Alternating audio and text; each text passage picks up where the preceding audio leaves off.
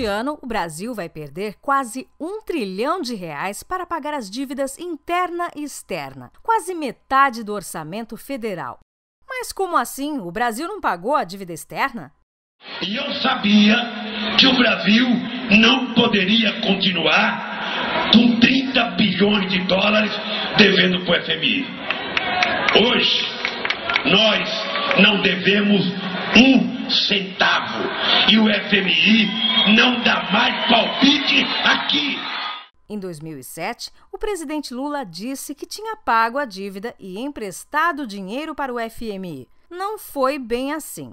Além de não ter sido paga, a dívida aumentou. No ano de 2005, o Brasil, o governo brasileiro antecipou o pagamento ao Fundo Monetário Internacional.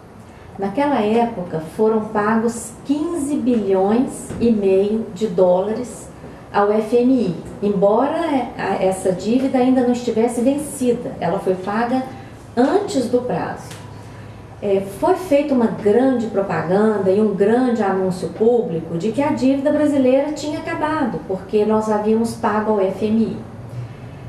Ocorre que essa parte da dívida é, que foi paga ao FMI correspondia a apenas 2% da dívida brasileira.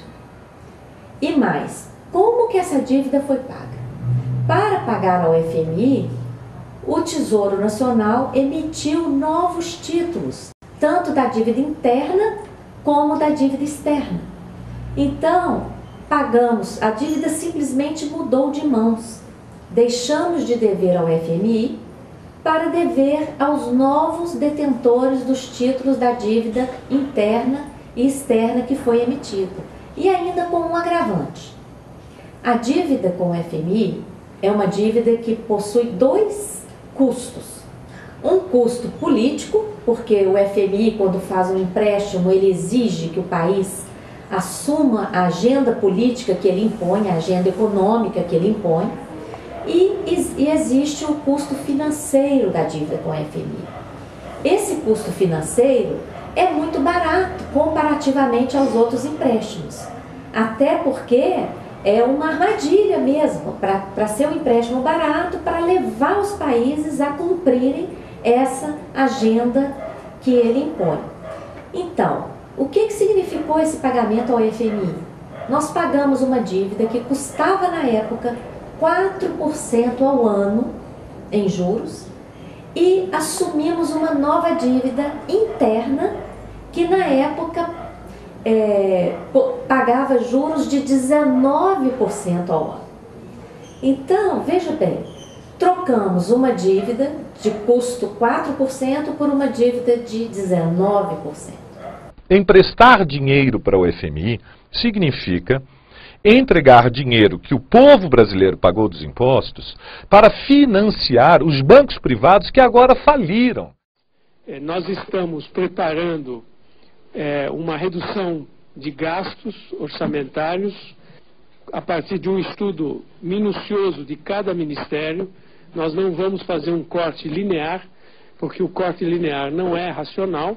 O dinheiro da saúde, da educação, do funcionalismo, da aposentadoria está sendo desviado para os banqueiros. Sabe o que poderia ser feito com todo esse dinheiro se Dilma parasse de pagar a dívida?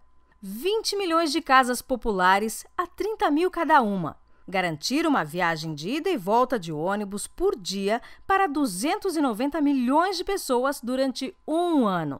Pagar o salário de 2 milhões e meio de médicos por um ano, com salário de 10 mil reais cada um. Aumentar o salário mínimo de 545 reais para 2.660 reais. O pagamento da dívida interna e da dívida externa é um flagelo que se abateu sobre toda a América Latina ao longo dos últimos 28 anos. Olhemos para a experiência da Argentina, um país que foi levado ao abismo pelos credores internacionais. Os rentistas que vivem sugando a riqueza nacional do nosso país não podem continuar sendo alimentados pelo Estado e defendemos a ruptura com o FMI. O FMI não é senão um organismo satélite do Estado norte-americano cujo objetivo é proteger os interesses dos banqueiros, dos credores. Saiba mais no jornal Opinião Socialista.